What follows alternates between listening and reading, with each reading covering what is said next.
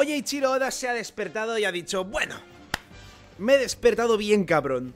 Voy a generarles más ansia a mis nakamas. Y aquí nos encontramos, Nakamas, tras el capítulo 1109 con más dudas que respuestas una vez más. ¡Ah! Buenos días, Nakamas, soy el quinto emperador y hoy os traigo la review del capítulo número 1109. Un capítulo, pues que la verdad, la verdad, lo voy a decir, no ha sido para tanto.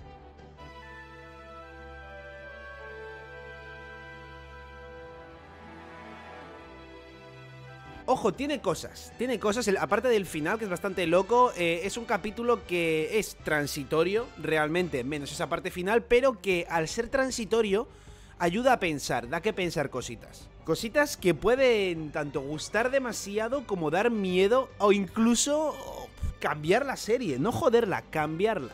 Algo que sí que es cierto es que se queda muy alejado de esa realidad abstracta y mentirosa que nosotros mismos nos montamos en base a los filtradores que el propio domingo lunes dijeron, tened cuidado, esta vez no os spoiléis bajo ningún concepto, incluso la gente que leéis los spoilers, tened cuidado, no los leáis esta vez para la mejor experiencia.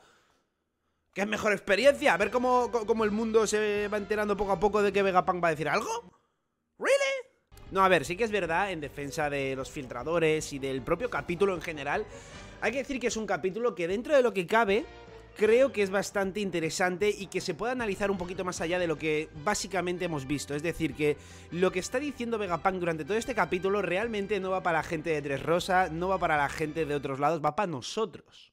Pero para entender todo lo que estoy explicando, Nakamas, qué mejor que empezar a hablar del capítulo. Así que, como siempre, lo primerísimo de todo, me encantaría pedirte que vayas ahí debajo y lees al botoncito de suscripción si todavía no estás suscrito, Nakama. Últimamente somos una bomba. El directo de ayer fue una locura. Pasamos los 180.000 Nakamas suscritos en directo y hoy me encantaría que también fueras partícipe de esta subida tan loca que estamos viviendo. Así que, Nakama, dale ahí debajo al botoncito. El capítulo comienza en Egghead, en esa retransmisión con el propio Vegapunk y con Shaka, el cual está haciendo un poco de pepito grillo, digamos. Y es que Shaka en el vídeo le interrumpe a Vegapunk diciendo que la gente todavía no está preparada mentalmente para escuchar lo que va a decir ahora. Y vemos que hay como una especie como de conversación, discusión entre Vegapunk, Estela y Shaka, diciendo pero que si tardan mucho en decirlo puede venir alguna agencia de inteligencia, el propio gobierno mundial o lo que sea e interrumpir la transmisión, con lo que hay que encontrar un término medio. En esta conversación mencionan que este vídeo se está retransmitiendo en absolutamente todas las bases de la marina del mundo y por ende desde las bases de la marina a los demás Dendemushi de todo el mundo. Es decir, que es un mensaje que literalmente se ha marcado un Anonymous de manual y ha hackeado el sistema de todo el mundo para que todos y cada uno de los Dendemushis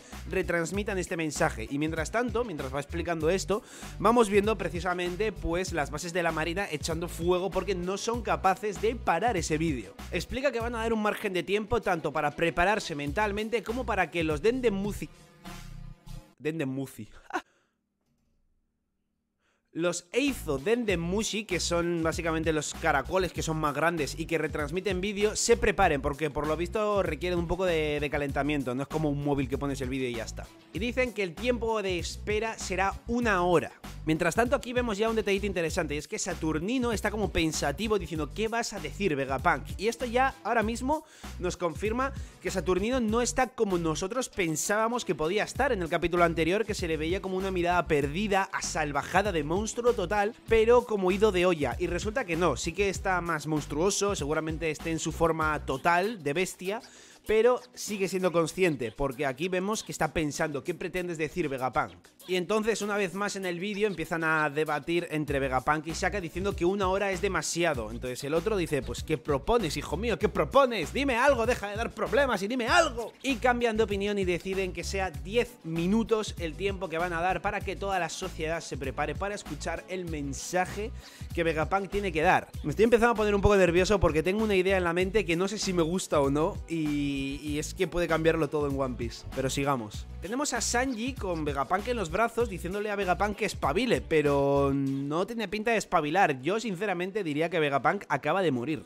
Bueno, no lo diría, o sea, es que está bastante claro porque aparte de que ha, recibido una hostia, bueno, ha atravesado el pecho a manos de Saturnino y de Kizaru y ahora mismo está reventado con la lengua afuera y se ha activado el mensaje y hemos visto hay un bicho de estos robóticos que, que mide las constantes vitales y están más nulas que Fox y el Zorro en Marineford, pues hombre, pues la verdad que yo diría que sí que ha muerto. Y tras esto, de repente vemos otra cosa más del Gorosei que da que pensar. En este capítulo va a dar mucho que pensar, ¿vale? Porque de repente Saturnino parece como que recibe un mensaje, ¿vale? Y es el propio Gorosei, desde Mare y Joa, que dice, oye Saturno, explícanos qué está pasando.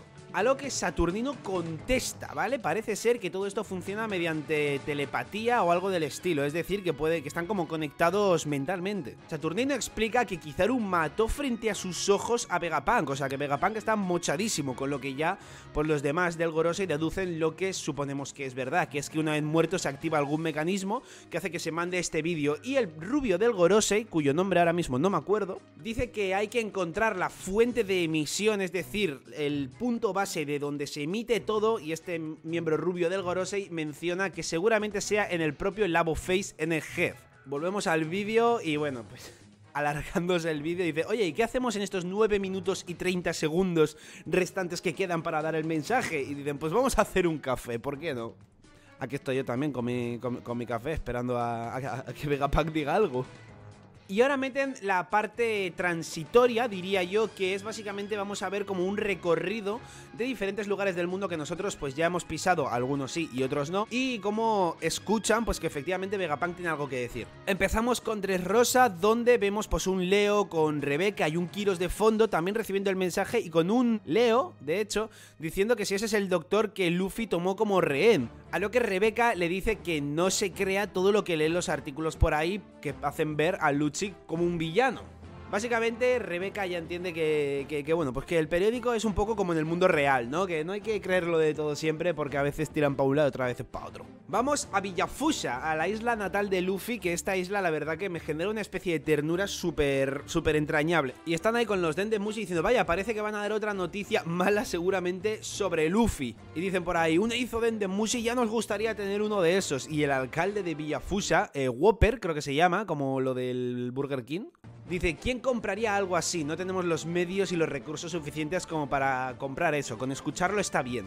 Y ese comentario, no sé por qué, a mí me da la sensación que es típica cosa chorrada de Oda, que de repente, un día random, cuando Luffy ya sea el rey de los piratas, cuando pase cualquier cosa rara, en una mini historia, o al final de One Piece o lo que sea, Oda nos va a mostrar una imagen en Villa Fusa con un Eizoden de Mushi de estos de vídeo porque gracias a Luffy o lo que sea han conseguido el dinero para poder comprarlo. Es que me apuesto lo que queráis. También vamos a Water 7 donde Iceberg está pues como despertándose, que por lo visto estaba echando una siestecita, y su asistenta diciéndole que es un mensaje muy importante, que hay que activar todo y que tienen que escuchar atentamente, que han activado incluso los Mushi de los astilleros para que todo el mundo en Water 7 reciba el mensaje también.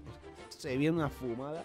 Vamos también al globito donde se encuentran Morgans con Guapol y con Bibi, donde están hablando un poco más de lo mismo, ¿vale? Eh, Bibi dice, hostia, están transmitiendo esto en vivo ahora mismo, ¿qué va a pasar con Luffy? Y Morgans, muy astuto y muy inteligente, cada vez que aparece se le ve que es muy inteligente, que sabe mucho, y Morgans insisto, cada vez tiene más cositas, ¿eh? Dice, no seas idiota y fíjate en ese reloj del fondo de ahí. Se ve que no es la hora actual de Head. Esto es una grabación pregrabada. Forma de que están ahora mismo en una Buster Call y que todo eso debería ser un incendio. Sin embargo, este vídeo se ha activado. Vamos, Morgans, aparte en el SBS 108, el último de todos que ha salido, responden una pregunta sobre Morgans, que cuidado. Pero bueno, si queréis saber todo lo sobre el SBS, no os preocupéis, Nakamas, porque el lunes seguramente suba videito hablando de las cosas importantes de este. Así que si no os lo queréis perder, ya sabéis qué hay que hacer, Nakamas. Suscríbanse.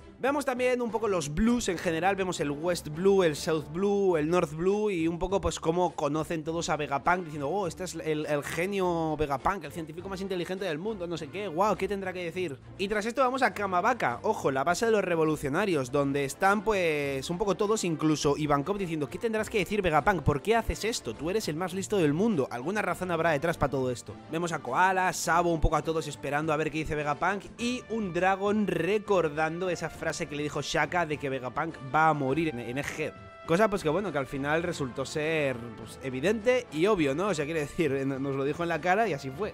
Tras esto volvemos a Egghead a la pelea, recordemos que Luffy estaba en Yar 5 gigantesco agarrando con una mano a Kizaru y con otra mano a Saturnino y dijo, por mucho que lo intentéis, no os voy a dejar escapar de aquí. Y Luffy, sonriente todavía, se da cuenta de que por mucho que le golpea a Saturnino, no le está hiriendo. Es que, es que no sé qué coño es Saturnino, tío, pero tiene cosas muy turbias. Y bueno, Luffy insiste en que no los va a dejar escapar mientras echa los brazos para atrás, que en una mano a Saturnino y otra a Kizaru, insistimos.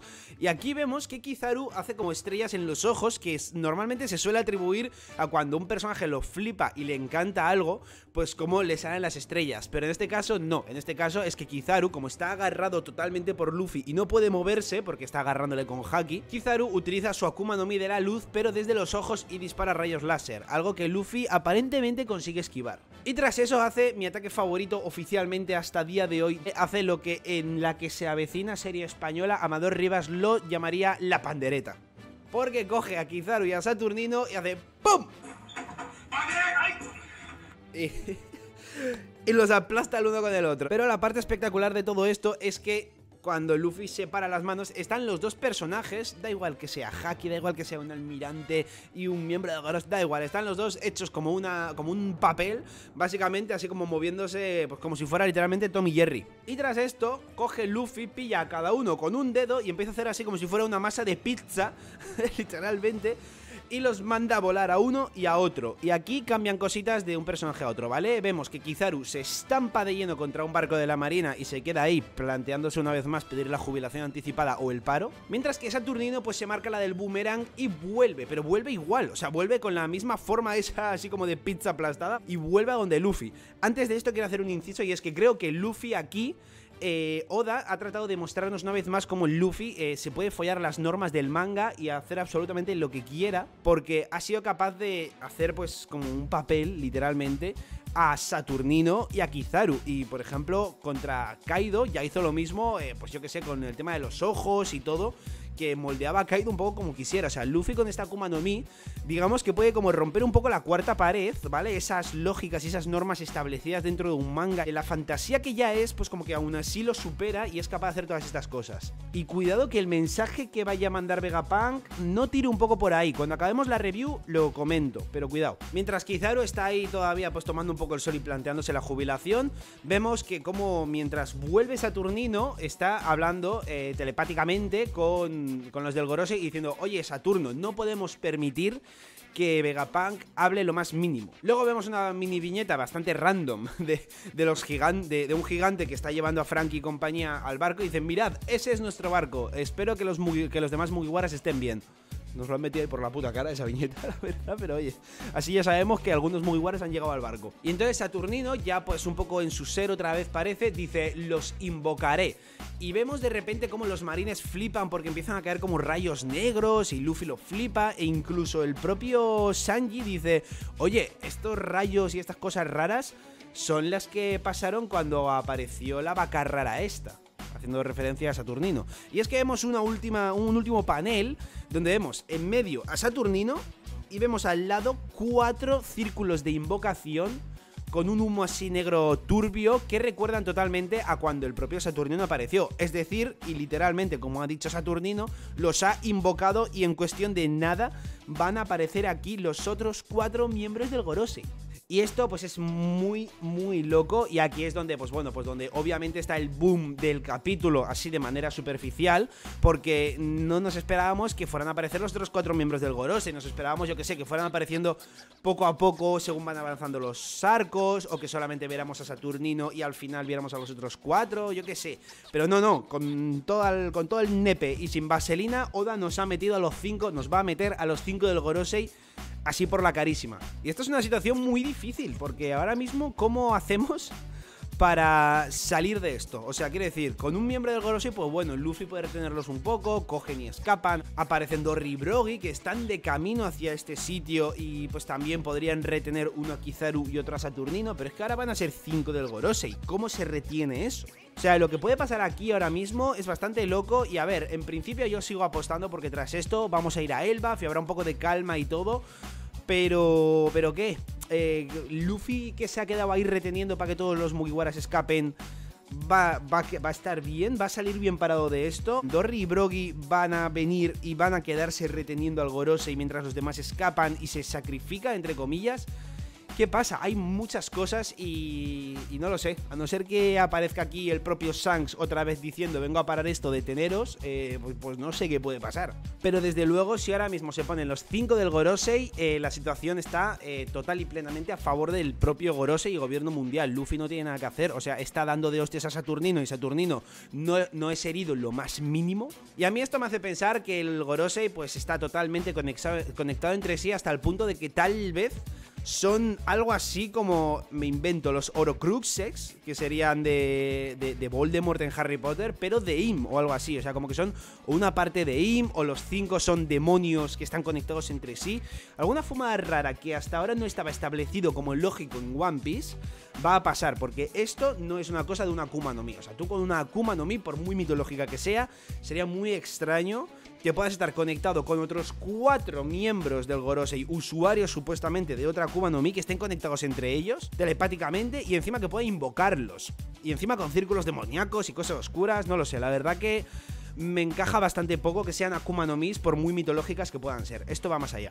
Entonces, veremos qué pasa. La semana que viene hay descanso. Y lo que quería decir con el tema del mensaje de Vegapunk, hasta el capítulo pasado todo el mundo pensábamos que podía ser, yo que sé, que el trono vacío no está tan vacío, ¿no? Y que existe Im. Algo del nombre del reino antiguo, alguna cosa de los Di, yo que sé, cualquier cosa que estamos esperando del siglo vacío. Pero por cómo va todo y que da esa sensación de que está como alargando un poco Oda la situación con esos 10 minutos de Vegapunk Punk, eh, ese mensaje de que el mundo no está preparado para escuchar esto, a mí me puede dar la sensación de que nos lo está diciendo a nosotros. O sea, que te mete obviamente la excusa de Dressrosa, Water 7, el West Blue, North Blue y no sé qué, pero que realmente Oda nos está diciendo, lectores, prepararos. Os estoy dando esta semana, os estoy dando el descanso de la semana que viene. Seguramente os dé otro capítulo o incluso otros dos más hasta que la cuenta de 10 llegue a cero. Pero que Oda quiera romper la cuarta pared de una manera muy sobrada, ¿vale? Una cosa es romper la cuarta pared, pues con eso, con, con Luffy haciendo pizzas eh, de Gorosei y de Kizaru. Que incluso, yo que sé, que Luffy con el Jar 5 pueda salir del manga, entre comillas, ¿no? Pues de que si hay un recuadro, Luffy como que el puño lo saque del recuadro, ¿sabes? Para golpear luego, pues como que está saliendo del manga, entre comillas. Pues ese tipo de cosas son romper la cuarta pared, pero creo que Oda puede incluso ir más allá y decir algo rollo que son una historia o que son un manga o cualquier cosa así que a mí de primeras no me gustaría. De primeras no me gustaría, pero creo que según cómo pueda contarlo y llevarlo Oda, puede acabar gustando, incluso puede ser una puta genialidad al final. Un poco pues como el tema del Year 5 y la Ito que al principio fue muy raro y no gustó a mucha gente y luego al final acabó gustando a todo el mundo. Pues con esto, cuidado que Oda no quiera romper la cuarta, la quinta y la sexta pared con todo esto y, e insisto que quiera, yo que sé, revelar la verdad al mundo de que todos son una historia, de que todos son un cuento cualquier fumada gigantesca así y y, nos peta la mente a nosotros y a los de dentro del manga. Y además esto sería algo histórico y que cambiaría One Piece totalmente. Imagínate que te digo a ti, eh tío, he empezado a ver un manga en el que los, los personajes son conscientes de que son un manga. Y dices, hola, qué historia más original, qué curiosa, ¿no? Bro, es One Piece. O sea, ¿cómo podría cambiar One Piece después de más de 1100 capítulos si de repente encima empiezan a ser conscientes de que son un puto manga? O sea, ¿eso sería bueno, sería malo? Es que no lo sé. Y tampoco descarto muchísimo que pueda tirar por ahí, así que bueno, iremos viendo. Yo en principio quiero y espero que no sea eso. No creo que vaya a ser, pero no está de más comentarlo un poco a modo de que Vegapunk nos está diciendo a nosotros que nos preparemos. No a Lucci, a Dressrosa, a Water Seven y a... No, no, a nosotros. De momento, Nakamas, por aquí quedaría esto. Esta semana que viene estaremos en stream y en vídeos hablando aún más de todo esto porque da mucho que pensar. Quiero hacer algún debate sobre todo esto. Y bueno, lo dicho, espero que hayáis disfrutado muchísimo tanto del capítulo como de la review. La semana que viene no hay capítulo, pero sí que habrá contenido para amenizar esta dura espera. Así que os espera todo el mundo aquí. Si os ha gustado, Nakama, ya sabéis, likecito y sobre todísimo ir abajo al botón de suscripción para ayudarme a seguir creciendo. Un saludo, Nakamas, y hasta el próximo vídeo.